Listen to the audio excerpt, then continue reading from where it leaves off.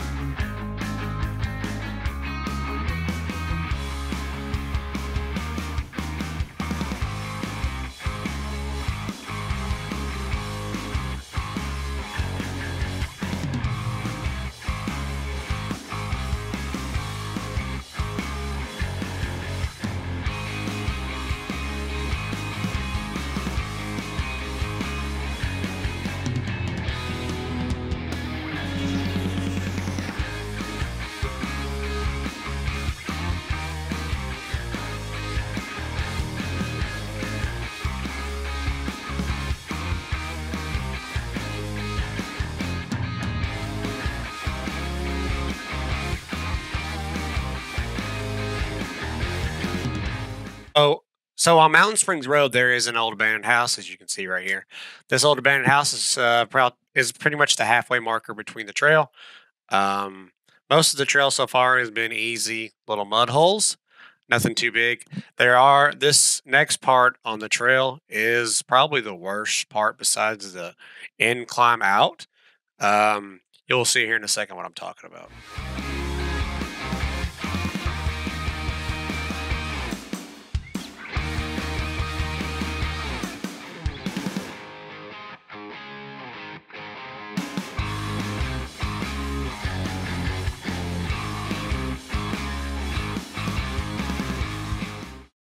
So you see here, Greg's being cautious because, oh, there he goes, three wheeling.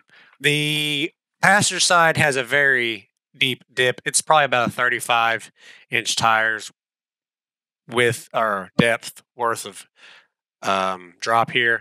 You can see he's got his driver's side tire way up in the air. Uh, he's going to ease on down here.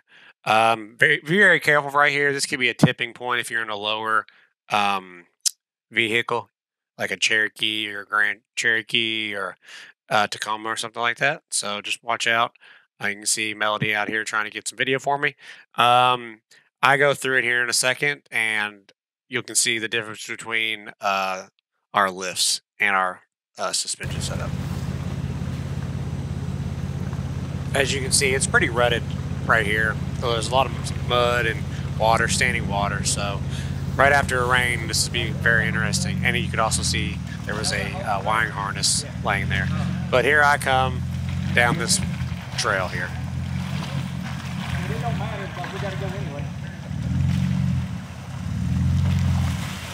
I just ease on down here. I'm riding, I'm in first gear, low range, just letting it crawl down.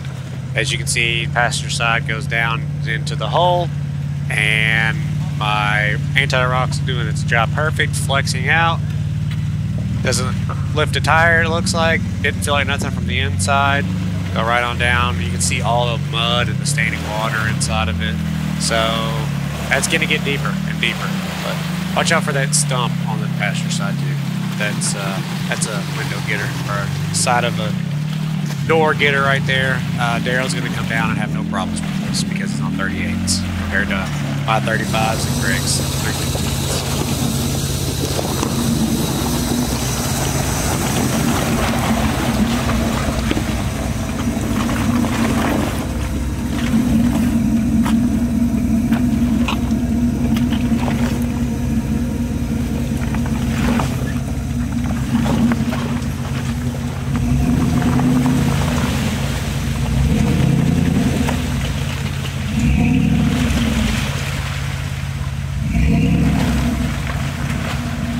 As you saw there, Daryl had no problem with that. After that, the trail kind of winds on down here, and um, this is going out the backside of it. Uh, this part right here is a uh, little slick, little rocks area, and this after this is the worst, probably the second worst part after that part we just did.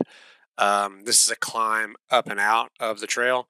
Um, this is the third obstacle, in my opinion. On Mountain Springs Road, you'll see here, here in a second, um, how we all take this trail.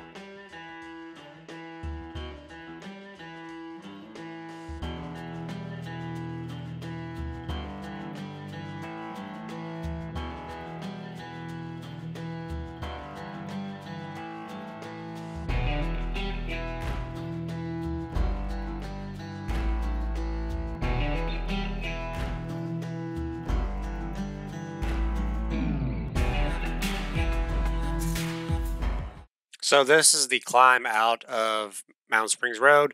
It's a very slick, very muddy, rutted trail. You'll see here Greg goes first. He's on some BFG all-terrains. You can see they're caked in mud. Um, he tries to work his way up here on the far right side. Uh, as you can see, it is slick. It is super slick. So he's locked up front and rear, and he gets pretty far. He could have probably made it the first shot, but uh, he's being kind of cautious. So I'll let you sit here and watch him uh, attempt this.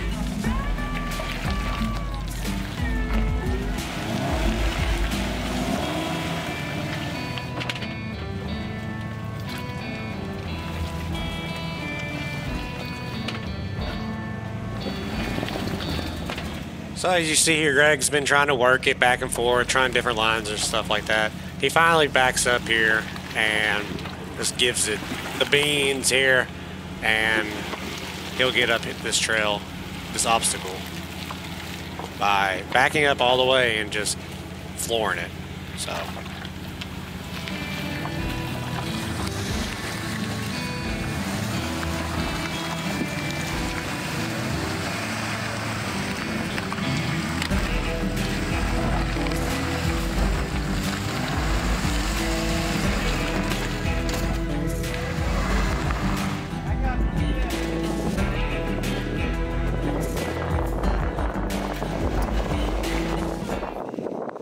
he goes, made it up. No problem. Now, me on the other hand, I'm right after him. I had uh, front locker issues. You can see right here, my I have the I have it pressed, but it keeps flashing on my dash. I've had this happen for a while. I need to check the um, actual connector on the front axle for the diff. But uh, once I get everything situated here, I'm gonna go right up this trail, no problem.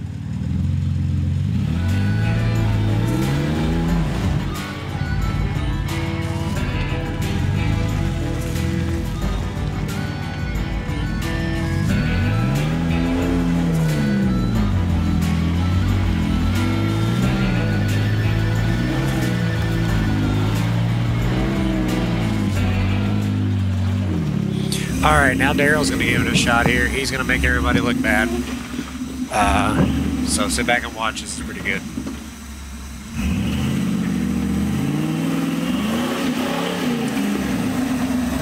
And just like that, obstacle conquered. Thanks to big old LS. And with that, that is the end of the Mountain Springs Trail. Now we are jumping over to the trail I was told is called Hard One. It's part of the Kentucky Adventure Tour, the KAT, which is another trail system like the Danny Boone Back Backcountry Byway. Um, we are heading right now to a pretty no- pretty nice cave that I've been to a bunch of times. It's really cool. It's called Stump Cave. It's a really nice cave. You can fit a bunch of vehicles inside. You'll see here in a second um, how cool it is. Uh, the trail getting to it used to be pretty bad, but uh, here recently somebody's took over the property and made it uh, pretty easy to get to. So uh, no hard trails this time, but still good a good area to check out. Nice scenery, easy trails. Don't have to worry about anything like that. Just the good views and the good times.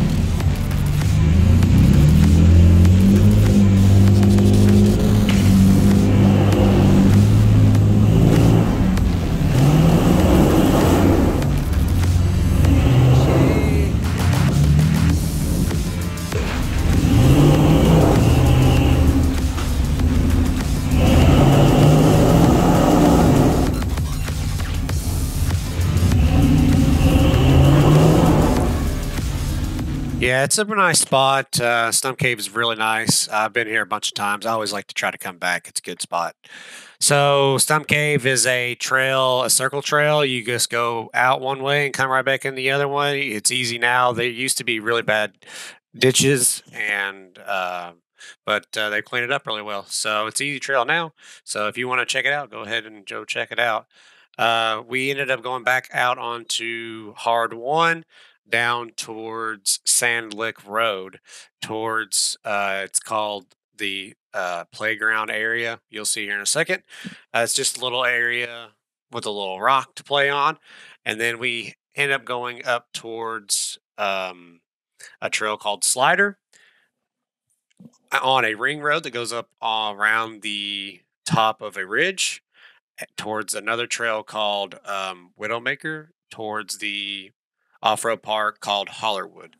So this trail right here that I'm on is uh, a downhill. It's really this trail used to be bad. It used to have bad ruts in it, but they also cleaned this up because this is uh, forestry land. So we just head on down this road. There's a couple mud holes here and there, nothing too crazy. Still easy riding, nothing too crazy. The crazy stuff happens later on.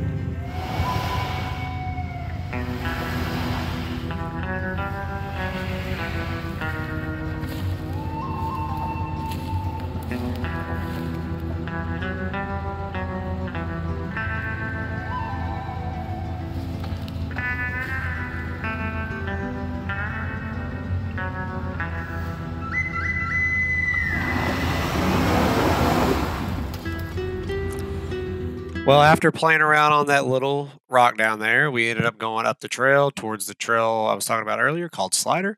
This trail, this ridge trail that goes around the ridge of this uh, path or this valley here, Uh, has a lot of mud holes in it, stinky mud holes, uh, and there's some deep ones in this trail. Uh, and there's a nice little climb here too, here shortly. So, but other than that, it's a pretty easy trail uh, to get around to get up on top of this ridge. Uh, we ended up uh, we ended up running into some people actually for the first time of the day uh, on that day, and yeah, so we just cruise around up here for a while, and then we'll hit this nice little uphill rock climb here soon.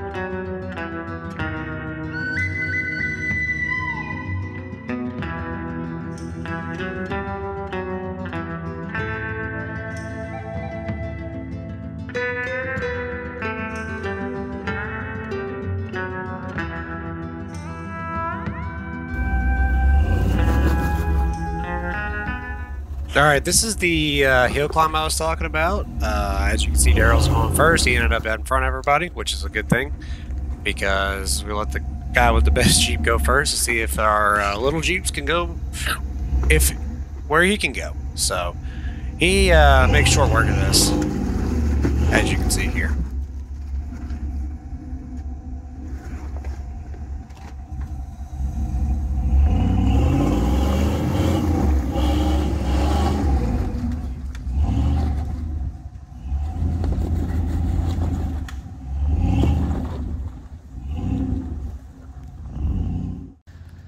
Daryl was Greg and his Jeep, and who will try to make this climb next.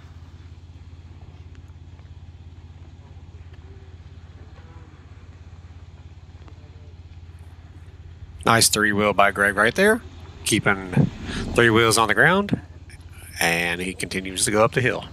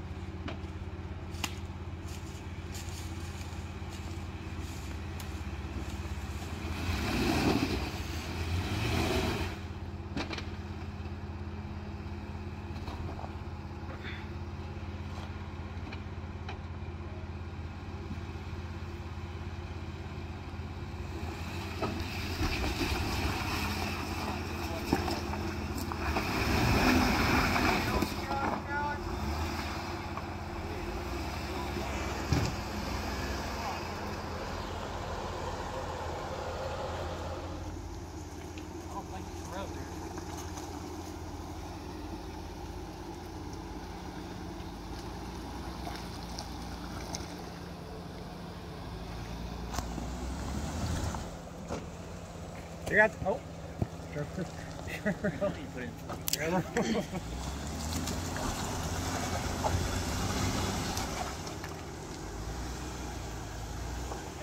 Keep going. You good? Going. You're alright.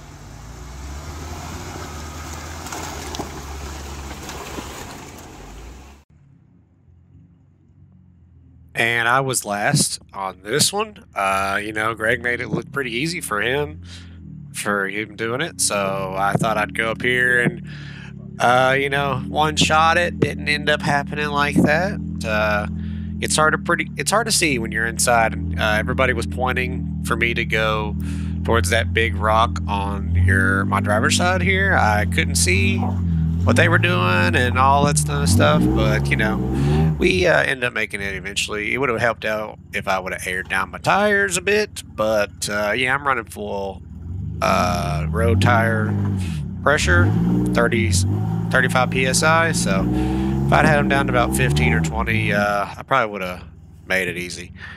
Uh, but yeah, and you learn. Always air down, people. Even a little, even a little bit helps.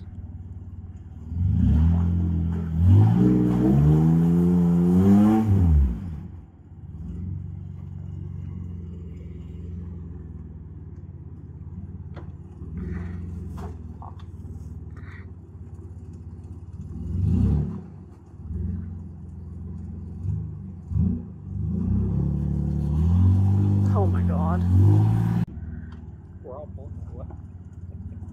That big rock would have you on it for a think right there. But you don't know it's there from the driver's seat. There you go.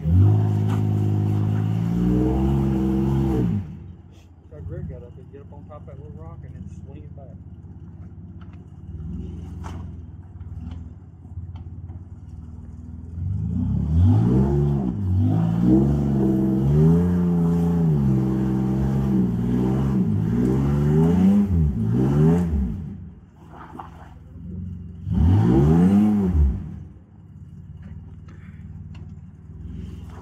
Yeah, I'm over here beating on this thing. I shouldn't be beating on it. I should try to, you know, methodically think about it. But then I finally do get it. So, uh, you know, next time you learn, every time you go out, you got to learn something. So, next time, make it better. This mud hole right here was pretty deep. You can see how off camber this is, too. That is, that is pretty wicked right there for a mud hole after that hill climb.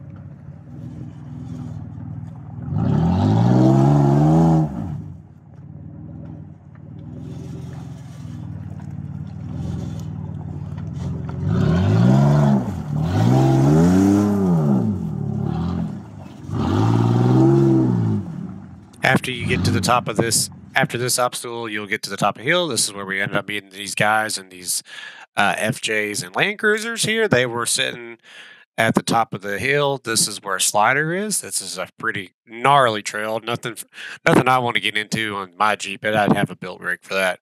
But uh, we ended up heading down this way and this is where the deep deep mud hole on this trail is this mud hole ended up swallowing Darrel's Jeep. Got mud, uh, got water inside of his Jeep. He's on 38s. So, yeah, there's some deep mud holes on this side.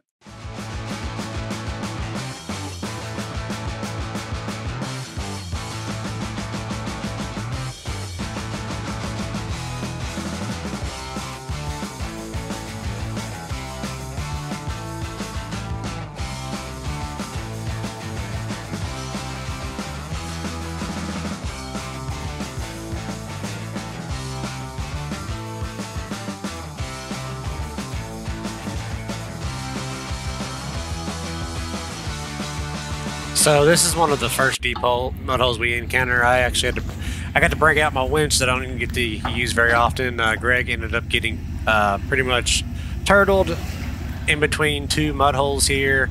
Uh, his breakover angle isn't that great. He uh, it says he has a. They said he when he bought it, it has a three inch lift. I don't think that it is, and then I just there I go. I uh, stepped in that mud there, so that was cool. But uh, yeah, we ended up ended up pulling him back a bit, and he gets another. He gets to have another go at it.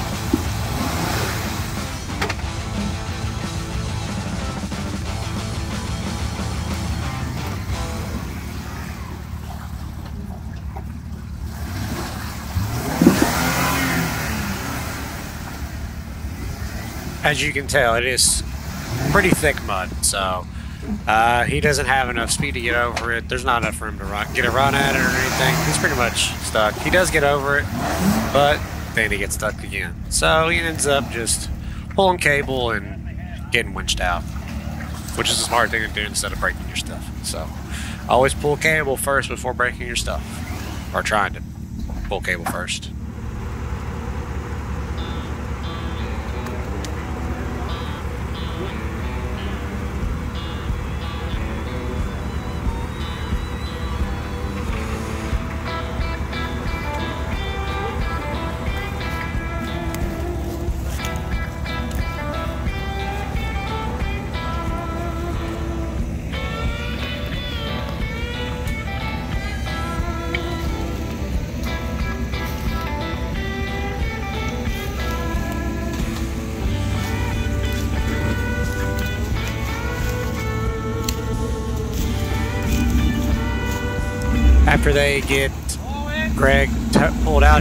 It's my turn, and I make sure that I'm not going to get stuck.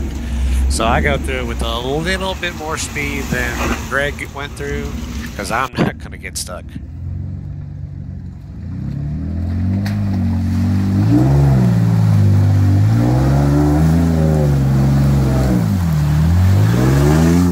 And that's how you do that right there. So this next part right here, uh, I'm missing some video from this, but this is the hole that Darrel ended up getting uh, water in his Jeep.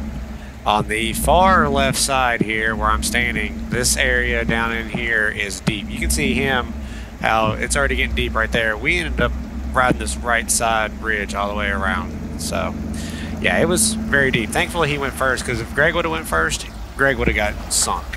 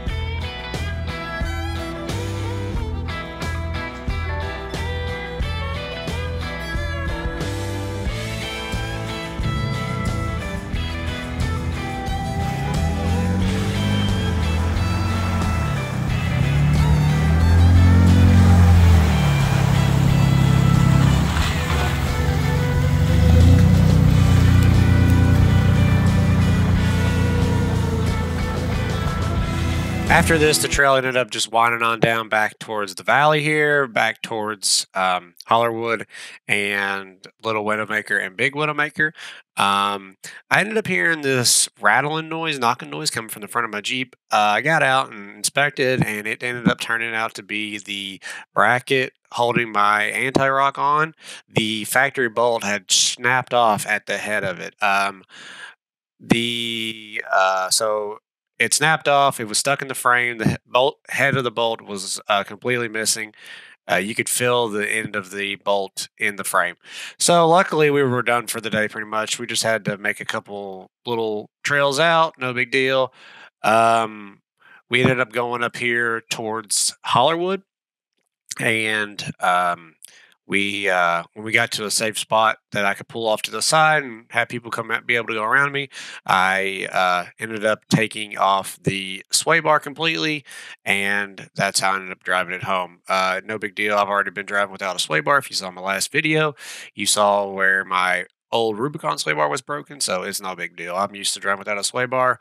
I'd rather take it off and uh, not have to deal with uh, ended up breaking more or anything like that. As of now, the sway bar is in perfectly good, good, condition.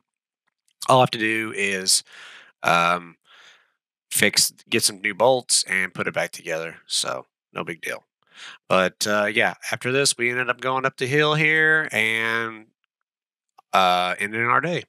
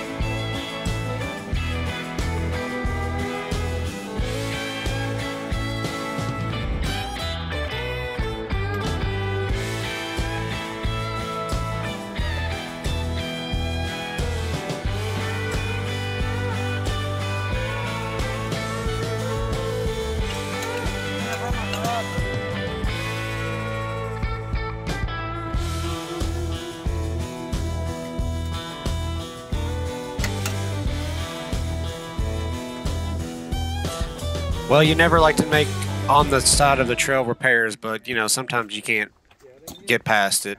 Luckily, I just did this install not too long ago, so it's fresh in my mind. I knew exactly what to get.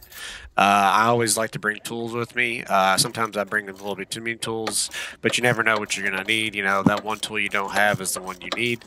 So uh, I'm just taking the lower link off the sway bar here. I ended up just sliding it right out, and uh, I took the other arm off the other side on the passenger side, and then sliding this one out as a complete unit, and uh, left the driver's side uh, mount attached to the Jeep. Um, after that, we ended up going towards. Uh, we were ended up getting into the Hollarwood side of the of land here. This is the Hollarwood Park up here. Um, we ended up driving out this way on back to the main road.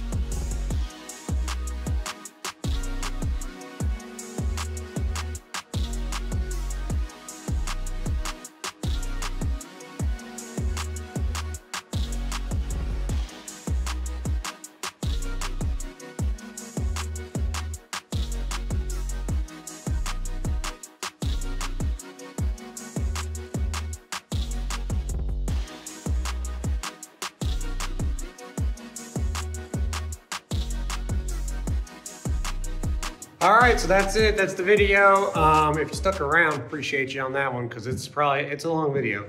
But uh, let's walk out here to the Jeep, and I'll show you that it has no sway bar. We made it home without a sway bar attached. Uh, like I said, uh, it really it broke on this side, so no more sway bar right now. I have to get I have to get an easy out for it, and I um, I have to get an easy out, and I have to get yeah some bolts. They want eight dollars for those factory bolts, so I'm not doing that. I'm gonna have to go to hardwood store. Hard, hard. Uh, we're gonna have to go to a hardware store and uh, get that fixed up. But here is the actual rock truck sway bar right here.